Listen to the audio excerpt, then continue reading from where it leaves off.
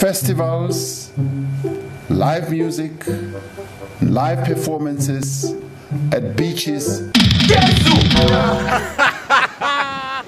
Yeah, this is a sea, my man. Beaches. Oh my God. Pull up, pull up. Continue. KwaZulu Natal beaches. Yeah?